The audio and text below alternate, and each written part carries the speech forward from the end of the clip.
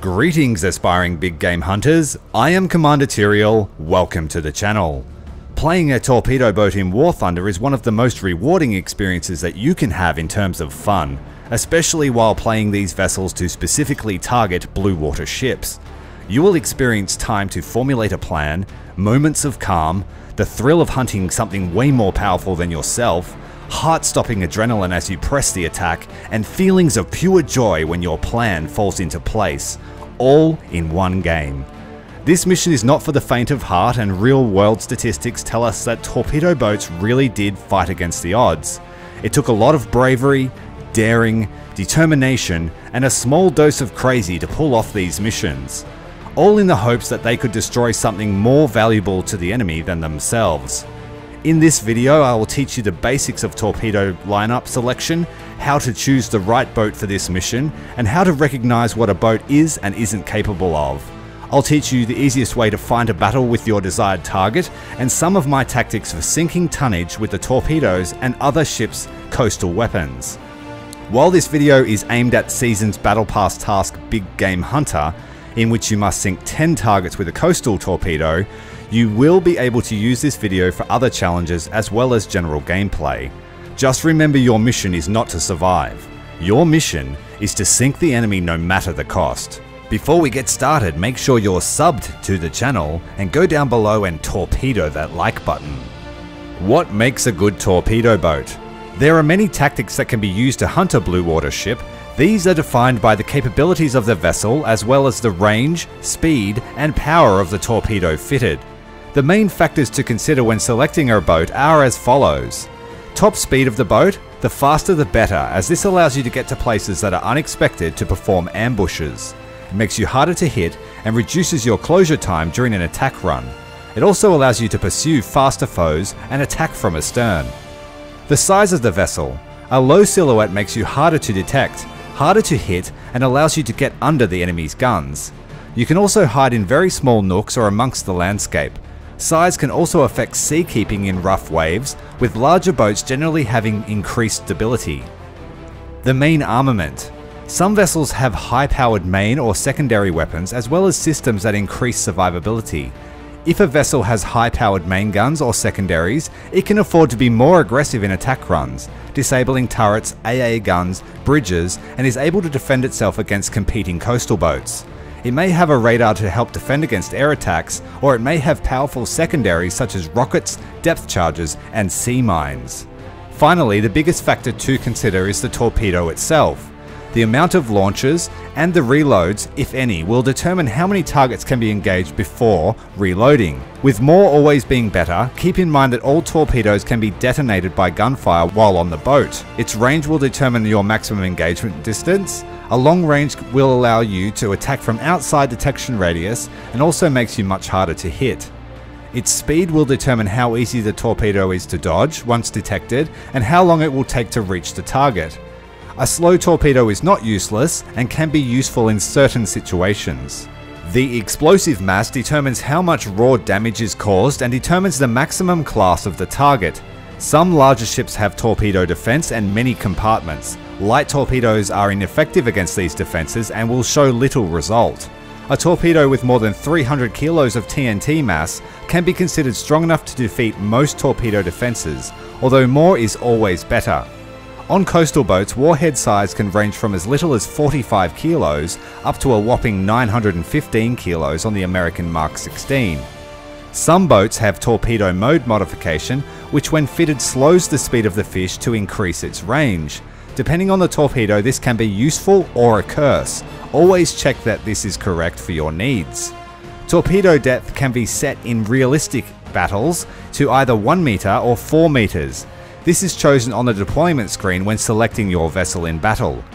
4 meter depth provides the most damage as it detonates well below the waterline, often able to detonate a magazine store or completely destroy an engine room causing fire and flooding. They are also harder to detect by other players and don't give a torpedo warning until it's often too late. However, a ship with low draft will be able to sail safely over the top without harm. They are still visible to the naked eye, but a player must actively search for them. This depth setting should be used against most destroyers and all larger warship classes. 1 meter torpedoes can be spotted by the crew and the player from a fair distance and give a warning depending on the crew level. It does less damage, however all vessels will be damaged or destroyed, boats included. There are quite a few boats from all nations that tick all the boxes when we apply the factors that we've just discussed. There are even a few reserve tier boats with fearsome reputations, such as the Soviet G5 and the German LS3. However, most naval daily tasks, event challenges, and battle pass quests, such as Big Game Hunt, require a rank 3 vessel as their base. So let's have a look at a few of the boats from each nation and see what we can use.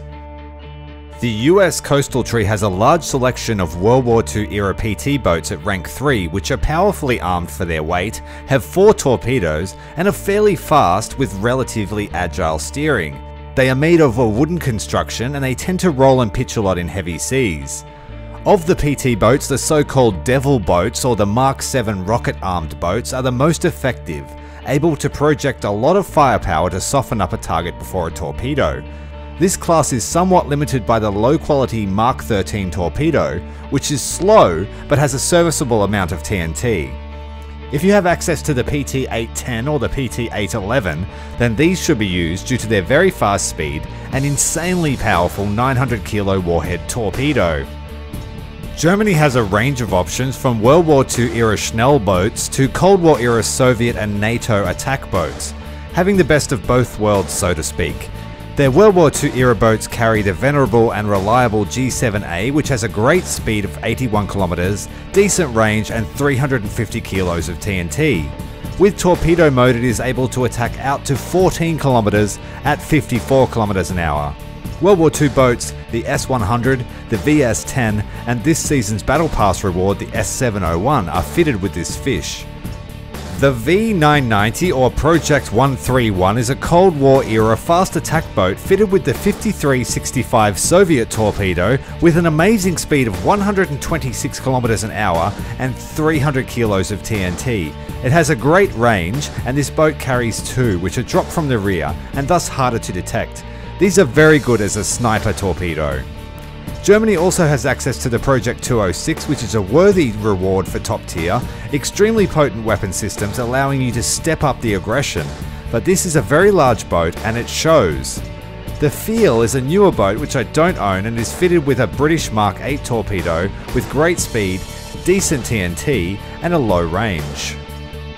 The Soviet coastal tree has arguably the best coastal vessels in the game, and their torpedo boats are no exception.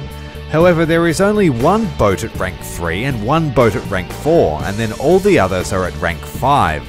But that's okay, because if you really want an easy boat to practice this mission set in, then the Project 123K is all you really need. It's extremely fast, hard to hit, very agile, and has two torpedoes and depth charges. The single gun is decent for self-defense and fairly accurate.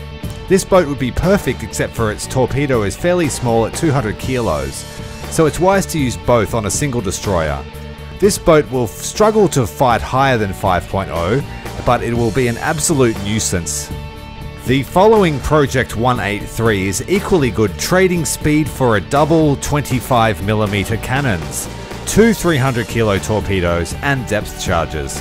Mastering these two boats will reward you with even better versions for fighting the same aggressive doctrine, the Project 206 and the Project 206M armed with a 57mm cannon. You could also use any of the Soviet corvettes or frigates from rank 5 if you have them, but their torpedoes are fairly useless, very low TNT mass, and or hard to get them into position to fire. The British I would consider to be the weakest nation for blue water hunting due to the shortage of torpedo armed boats, low top speed, poor seakeeping, poor average torpedoes with low survivability. All boats have the Mark 8 which was mentioned before as being below average torpedo. So generally I don't like the British and I'm yet to find something that I like. I would use the Dark Aggressor or the Battle Pass MTB 422.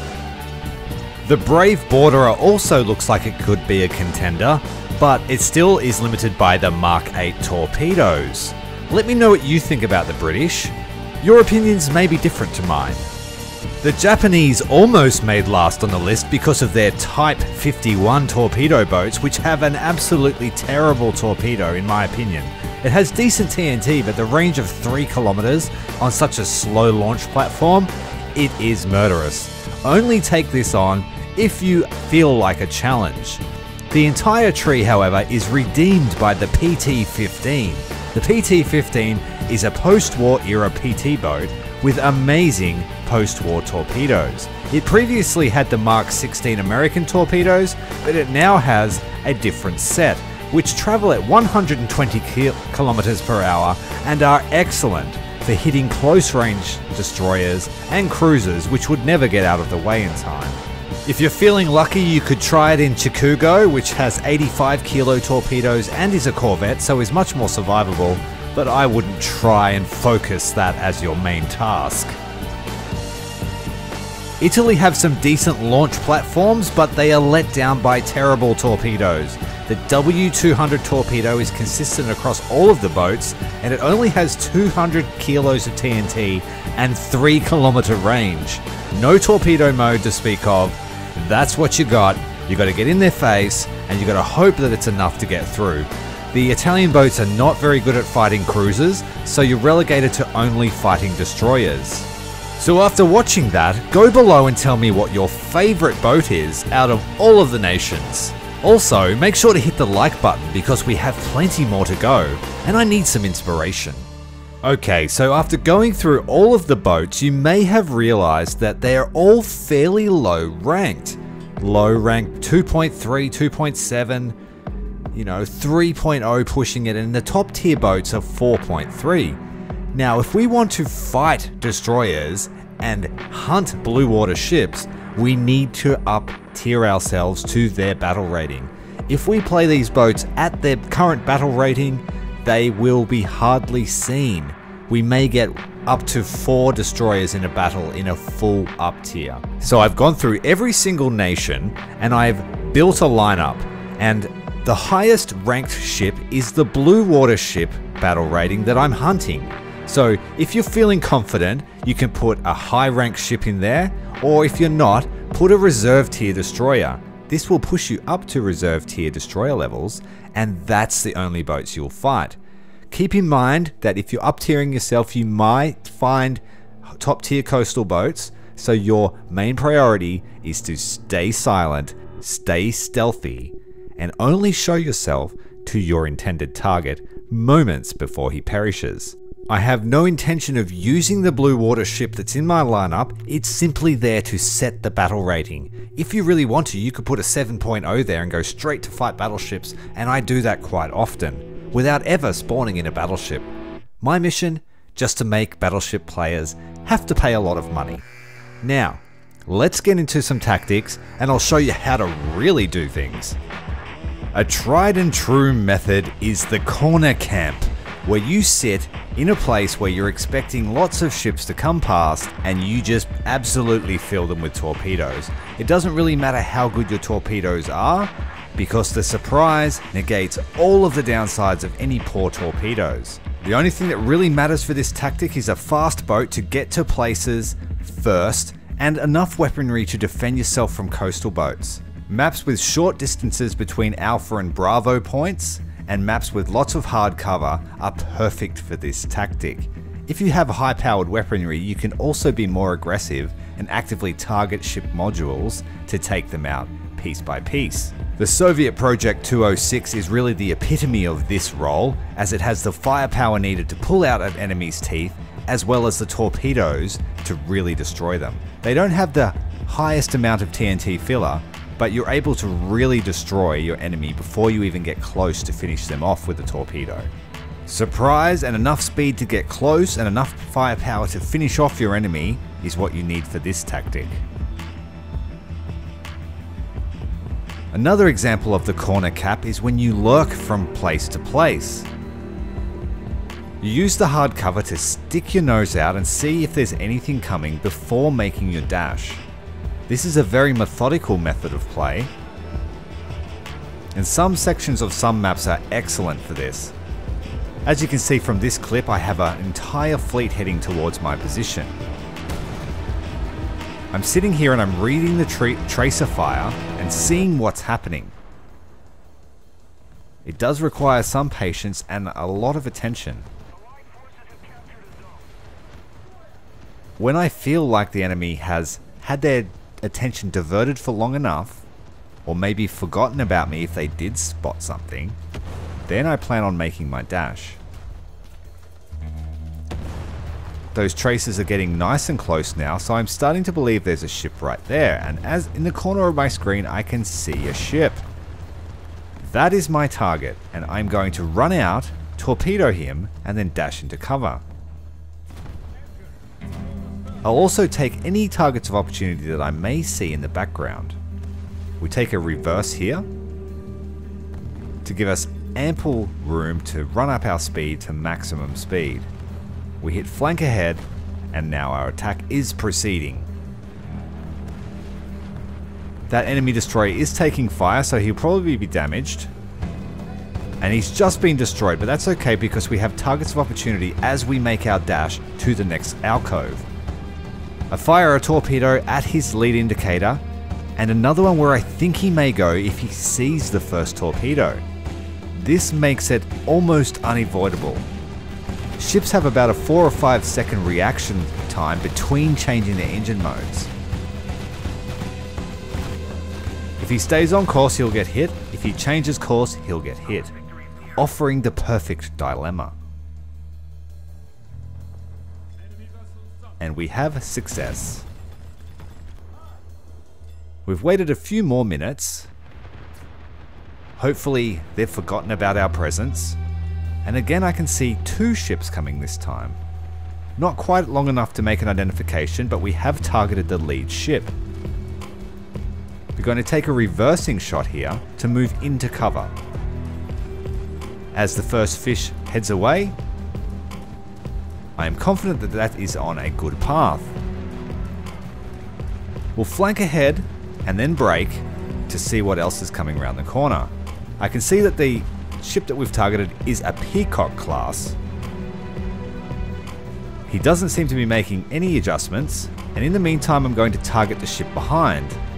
We'll hit full back to give us some rudder control, enough to aim the torpedo, and then fire it away, hitting flank ahead again to stop the boat.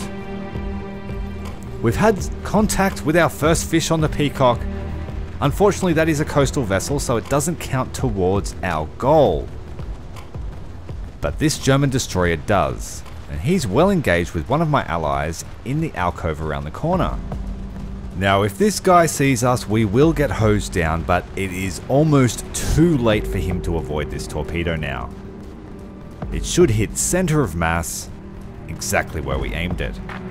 And those Mark 16s make short work of anything they come in contact with. I've been asked a few times how to use the VS-10 because it is a little bit funny for a hydrofoil. It's extremely fast, but it handles a little bit funny, and it only has two torpedoes that fire extreme angles. But it's fast enough to get underneath a Cleveland or a Helena before they can react. And if you hit them in the magazine, they'll destroy it instantly. Another tactic that is quite useful is coast riding, where you hug terrain as much as you possibly can to skirt around to the outsides of the fleet formation. Using a boat like the PT-15 with such powerfully fast torpedoes, you're able to really inflict damage to large warships. Sometimes before they can even react, and other times before they can move. Like they may take you out, but it's too late because this bad boy is coming at you at 120 kilometers an hour, running at 4 meters, and it's got 300 kilos of TNT to put right into your magazine. Are you impressed? Well, you're about to be, because this torpedo is absolutely amazing and I've had some fantastic luck with it. Even Mr. Scharnhorst here will soon learn the power of the PT-15 torpedo. I swear that the travel speed has something to do with it. I really, really do. And thus my crew has fallen, but I've managed to take out the pride of the German fleet, both the Admiral Hipper and now the Scharnhorst. Straight into his magazine, Boomski. Now we're using PT658, another excellent coast rider, especially when you use to camouflage. PT658 was a battle pass vehicle, but you could also use PT200 which has green paint as well. I've had extreme amount of luck hiding in this boat and it is one of my favourite coastal boats. Although the torpedoes can sometimes be woefully underwhelming. And so we try to get his crew levels down to under 5%, which makes it hard for him to fix that flooding. I was hoping to finalize him with that, but I'm going to actually launch a second torpedo. The 180 kilos, you do really feel it sometimes. It just doesn't have that oomph that you need. And so when using an American PT boat, I suggest using all your torpedoes when you attack a target. PT boats can generally afford to move around a lot, they have a lot of firepower, and they are good at suppressing other coastals. Don't underestimate the power of artillery. Using a coastal boat's artillery system, you can call in a powerful barrage which will assist you in a torpedo run. With enough practice, you should be able to call in an artillery just ahead of any warship and do significant amount of damage, which is often enough to get you through their defences and straight into their magazines. This cruiser's secondary battery has opened fire on us, but he's just taken a hit from artillery. He's seen the torpedo and he's now avoiding it. We shoot one across his path, forcing him to stop, and then we fire another one at the ship. It's almost unmissable. Always aim two torpedoes at two different vectors and you should have good luck.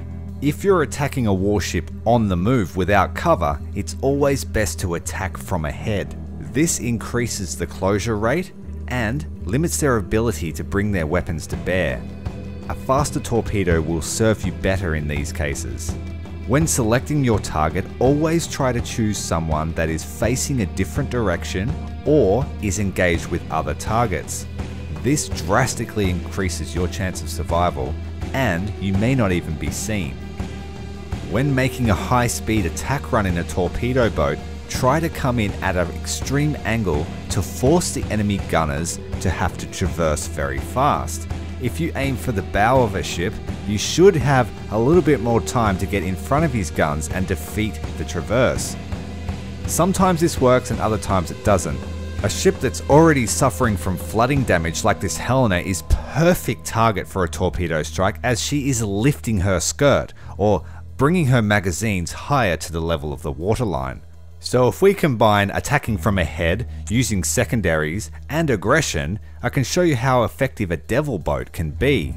The 5 inch rockets hit extremely hard, and a solid barrage can cripple a ship for up to 30 seconds, which is enough to spread 4 torpedoes across her path. Because she is maneuvering wildly, I'm just dumping all of my torpedoes, because Motor Torpedo Doctrine states that you should use any and all weapons when forcing an attack. So there you have it. That is my starter guide to Torpedo Boat Doctrine and how to succeed when hunting the big fish. Now I haven't told you all of my secrets and I plan to keep a few of them for the old playbook.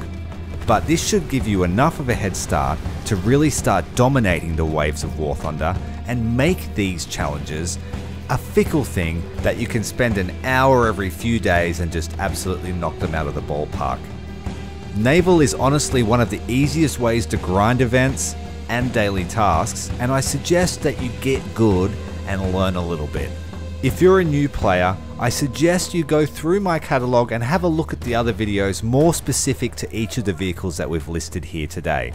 If you're an experienced player or a veteran of my channel, I do thank you once again for watching my stuff, and I'll see you next time. Commander Tyrael, out.